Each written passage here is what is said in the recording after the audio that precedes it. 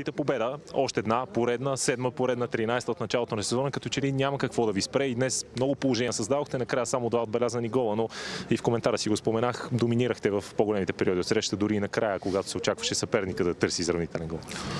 Ами вижте, доволен съм като цяло и от победата, и от матча. Най-вече от това, че нали, ние държахме инициативата, ние бяхме по-атакуващи отбор, по-търсещи победата, бяхме разнообразни в атака.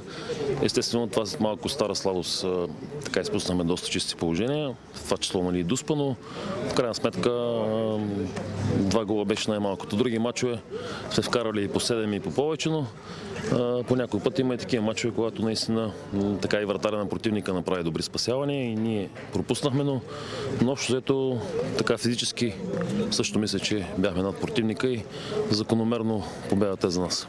Пречи ли ви лошото състояние на терена? Рядко играете на чак толкова лоши терени.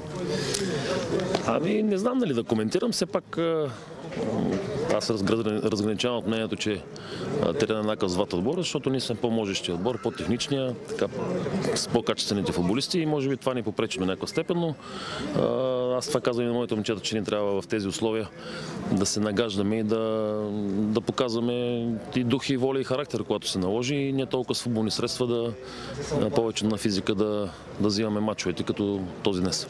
Притеснява ли, че в други мачове може би толкова много извършени нарушения точно пред наказателното поле, каквито видяхме днес от вашите футболисти, може да, да се окажат в минус за, за вашия тим, тъй като имаше доста фалове наистина за съперника в тази зона.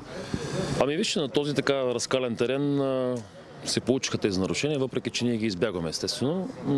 От друга страна пък имаме една стабилност в, защитата, така имаме доста високи хора и не се притесняваме наистина толкова много стичните положения, но в крайна сметка, когато така искаш да отнемеш топката чисто от противника, тези фалове наистина трябва да ги чистиме, за да може съответно след това да развиеме бързи атаки в противниковата поя. Споменахте защитата, доколко тя дава още една допълнителна увереност на отбора. Само 4 допуснати до- попадения до момента с това днес, което броим. Тоест, знаеш, че винаги отзад си стабилен и дори с едно поведение понякога можеш да спечелиш. Да, естествено, така специално защитната линия, може би са най-опитните ни хора, но всички играят в фаза защита и аз това изисквам от моите футболисти, както и всички да атакуваме и да активно да подкрепят атаката. Затова може би нали, сухата статистика е с 58 вкарани гола и само 4 допуснати. Нали, красноречиво, че се стараеме да, да изглеждаме наистина като, като отбор, който заслужава да, да е на първо место. Господин Кремельниев ни да разкри, че най-вероятно две или три нови имена ще има през зимата и ще опитате да привлечете. Вас пък ще попитам а, на какви постове са те и евентуално на какъв етап са преговорите за споменани, че са футболисти на ниво първа лига. Ами вижте, наистина не искам да влизам в подробности, поради простата причина, че с аматьорския институт, който сме в момента в Кърджали, така е малко по-трудно да, да привлечем футболисти, които имат договори, да кажем, с отбори от първа и втора лига.